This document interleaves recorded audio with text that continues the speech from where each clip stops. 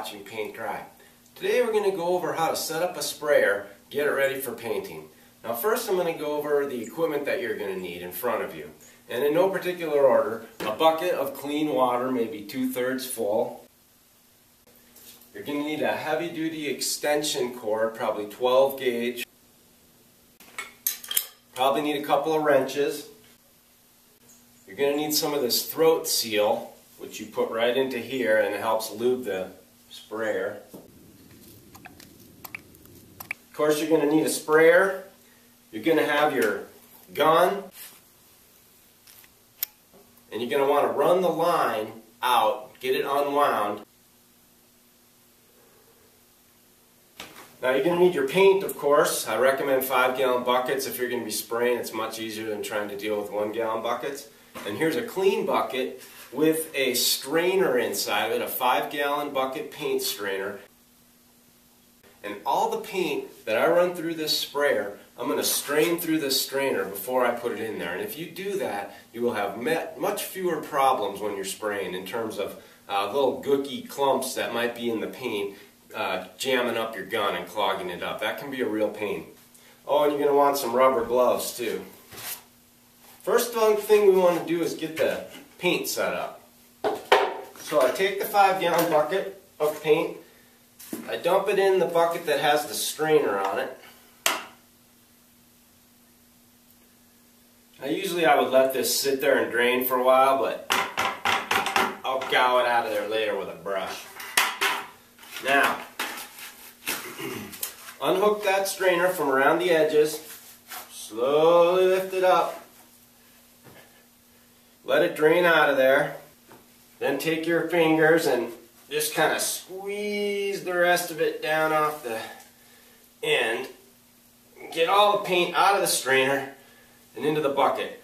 Then take your strainer, go over to your clean water, give it a rinse, and let it just kind of hang in there. You can reuse these many times if you clean them up. Okay, now the paint is ready to be set up with the sprayer. Move the paint bucket over in front of the sprayer like that. Now what I've got in here right now is just water from the last time I used it. So there's water in the pump and there's water in the line. Now what I'm going to do is I'm first going to cycle paint through the pump by priming it. Then I'm going to cycle paint through the line. Then I'm going to install my tip housing in my tip. And then I'll be ready to go. It's really that simple. Now, a lot of times paint sprayers are stored with paint thinner in the line. If that's the case, I would need to cycle clean water through this machine before I use latex paint. Okay, so make sure the sprayer is plugged in. Then you want to take the suction hose, siphon hose, whatever they call it, stick it right in your paint. Okay? Now we're ready to start priming the paint through the machine. Now, you need to find the switch on your machine that controls the spray mode or the prime mode. Spray. Prime. Okay, I want this on prime right now. Now here's the thing to remember, another thing to remember. This is called your return tube or something. But basically, this is what you're going to drain off all the water that's in the sprayer out of. And you're going to drain it into this little scrap bucket here that you got. Now once I see paint starting to come out of this little tube here, I'm going to quickly switch it over here to the paint bucket and then I'm just going to let the paint cycle through the pump for a little while. Make sure you get it in the bucket before you turn it on.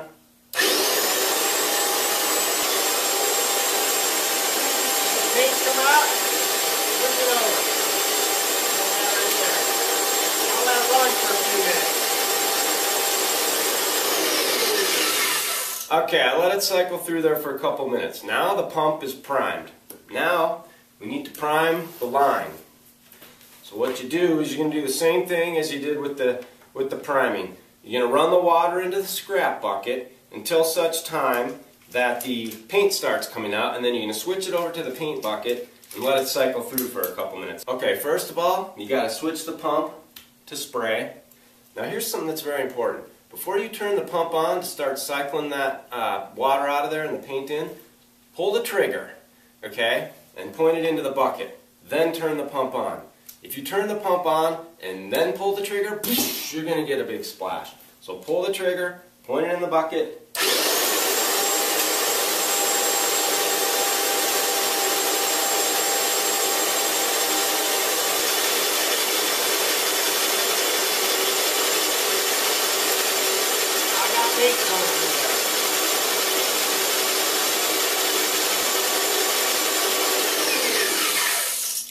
After you turn it off, keep it squeezed to release the pressure. Last thing I need to do is put on my tip housing and the tip. Take the tip housing, screw it on, so that it's still pretty loose. Then you take the tip, put it in that hole, and then you finish tightening this up. Usually you can do it by hand, but if it leaks, you might have to take a wrench to it. Okay, there you go. That's pointed forward for spraying. That's reversing the tip right there. If you get a tip clog, reverse it, give it a couple squirts, turn it back, and that should fix the problem. This will lock the gun so that you can't pull the trigger. Now don't forget, throughout the day, a couple different times you're going to want to add some throat seal to this machine, okay? You don't want it to start running dry. That's how you ruin paint sprayers. Believe me, I know. Now the last thing you want to do before you go out and start spraying the house is you want to adjust the pressure of the machine. So have a piece of cardboard handy, something that you can do a couple test sprays on. Mm, I want to turn it up a little bit.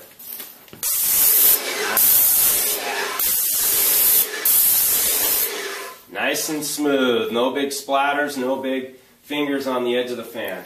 Okay, so now you know how to set your paint sprayer up for spraying. Now when you're done spraying, you're probably going to want to clean it out. So see the video on my website about how to clean a paint sprayer. And that's at howtopaintahouseright.com where you'll find a lot of helpful information as well as a complete series of videos that I've created to help you paint your house right.